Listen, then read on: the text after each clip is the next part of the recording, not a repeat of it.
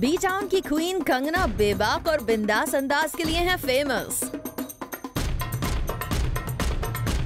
लेकिन कंगना का ये बिंदास अंदाज पड़ गया है उन पर भारी.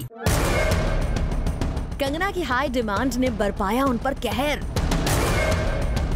कंगना रनौत एक ऐसी बीटाउन डीवा हैं, जो अपने एक्शन से रहती हैं अक्सर सुर्खियों में। कुछ दिनों पहले तक कंगना नेपोटिज्म पर दिए उनके बयान की वजह से, और फिर फ़िल्म सिमरन में दिए गए उनके एडिशनल क्रेडिट्स के कंट्रोवर्सी की वजह से थी लाइमलाइट में। अब कंगना ने एक बार फिर अपने एक्शन से बाज क्रिएट कर दिया है।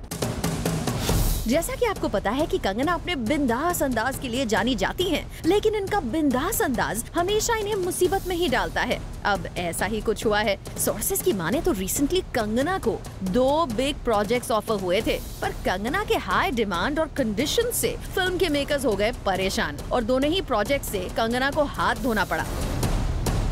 वेल बिंदास कंगना हम तो यही कहेंगे बिंदास और बेबाक रहना अच्छी बात है। लेकिन ध्यान रखिए कहीं इसकी वजह से आप खुद को बार बार मुश्किलों में न डालें। फजोती Singh Zoom Mumbai